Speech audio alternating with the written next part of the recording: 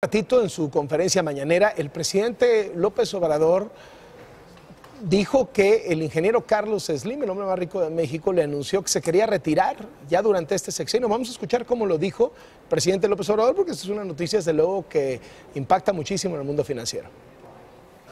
En las pláticas que hemos tenido con el ingeniero Carlos Slim, está no solo eh, su interés en invertir y en ayudar para que haya crecimiento de la economía, eso me lo ha manifestado, incluso quedamos en vernos próximamente para eh, trabajar sobre un plan de inversiones de su empresa y también de eh, inversionistas nacionales.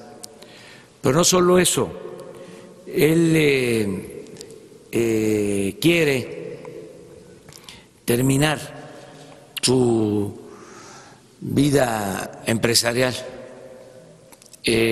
ayudando al crecimiento económico y al bienestar durante este sexenio.